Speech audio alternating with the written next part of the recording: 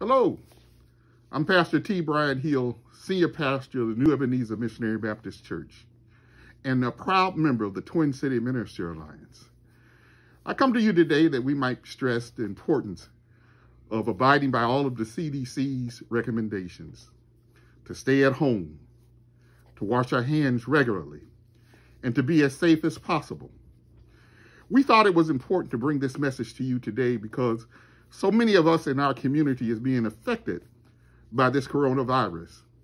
And it is important for us to make sure that we take active measures to ensure that we are as safe as possible. Certainly, we are children of God. But yet, God expects us also to use our senses and to use all of the avenues that He has provided for us to remain safe. So we encourage you to please wash your hands, stay home. Whenever you're out of your home, wear your mask that you might remain as safe as possible. And let us continue to pray for one another. God bless you. Remain safe.